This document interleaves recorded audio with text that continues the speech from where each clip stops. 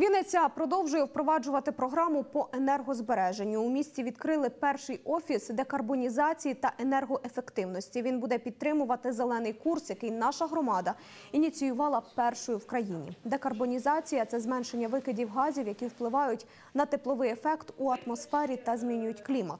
А ще це економія енергії. Таким чином Вінниця підтримує перехід Європи на відновлювальні джерела енергії, постачаючи безвуглецеві ресурси в інші країни у великому обсязі та на вигідних умовах.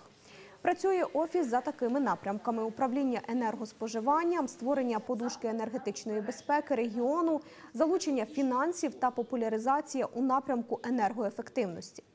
Під час війни важливо підтримувати зелений курс, адже це стане джерелом додаткового доходу для країни. Ми будемо співпрацювати дуже близько е, і хочемо побудувати свою роботу з муніципалітетом, з вашими представниками за напрямками, з бізнесом і з населенням для того, щоб впроваджувати енергоефективні рішення е, в громаді цілком і повністю, тому що перед нами дуже багато різних викликів. Ви правильно сказали. Е, І дякувати, що ви перші в гарній новині, тому що під час війни першим іноді бу- буває бути сумно.